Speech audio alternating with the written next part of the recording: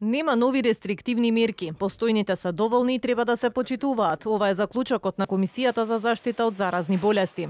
Министерот за здравство вели дека маските, дистанцата и вакцинацијата се основните мерки во борбата со пандемијата и ги повика граѓаните во пресрет на празниците да не организираат големи собири и слави. Остануваме за сега со истите мерки, апелираме сите да се придржуваат. Сега доаѓа период на семејни слави, апелирам граѓаните и оваа година како и предходните, ако можат да или не ги организираат, или ги организираат во помал семеен круг, сепак такви големи собери каде што не се почитуваат превентивните мерки се ризик да ситуацијата епидемиолошка се влоши. Филип Ченеја исклучува можноста да има и некакви мерки за невакцинираните граѓани за да се зголеми опфатот на вакцинација, но какви мерки би биле, допрва ќе се анализира. Во однос на невакцинираните граѓани оставаме простор следната недела да дискутираме, да видиме какви искуства ќе собера зема обврска некои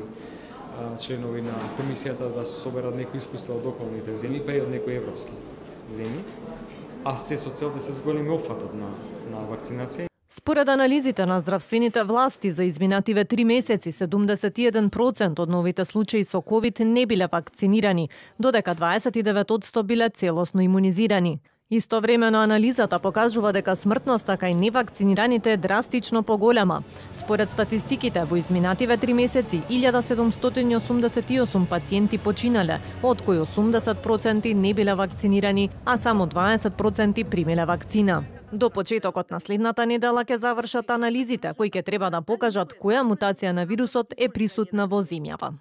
Потоа во друга просторија кај друг апарат.